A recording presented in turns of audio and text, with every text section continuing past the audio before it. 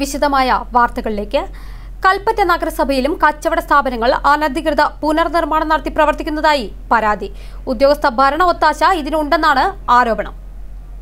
കൽപ്പറ്റ നഗരസഭയുടെ പരിധിയിൽപ്പെടുന്ന നിരവധി കെട്ടിടങ്ങളാണ് അനധികൃത പുനർനിർമ്മാണം നടത്തി കച്ചവടം നടത്തുന്നതായി പരാതി ഉയർന്നിരിക്കുന്നത്.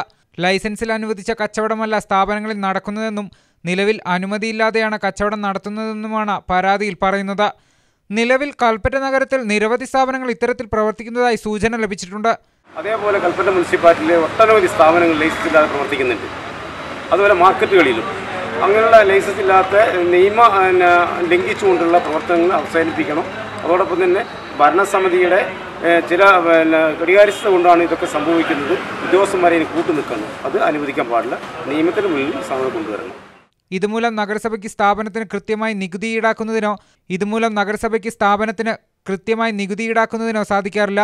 കച്ചവട സ്ഥാപനം പുനർനിർമ്മാണം നടത്തുമ്പോൾ നഗരസഭയുടെ അനുമതി വേണമെന്നിരിക്കെയാണ് പല സ്ഥാപനങ്ങളും തുടങ്ങിയ സ്വഭാവത്തിലുള്ള വ്യാപാരം നടത്താതെ കച്ചവടവും കെട്ടിടവും പുനർക്രമീകരിക്കുന്നത്.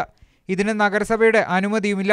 ഇത്തരത്തിൽ പ്രവർത്തിക്കുന്ന സ്ഥാപനങ്ങൾ അടച്ചുപൂട്ടാൻ കോടതി മുൻപ് ഉത്തരവിട്ടിരുന്നുവെങ്കിലും നിയമങ്ങളെല്ലാം കാറ്റിൽ പറത്തിക്കൊണ്ട് അധികൃതരുടെ ഒത്താശയോടെയാണ് ഇത്തരം സ്ഥാപനങ്ങൾ പ്രവർത്തിക്കുന്നതെന്നാണ് ആരോപണം.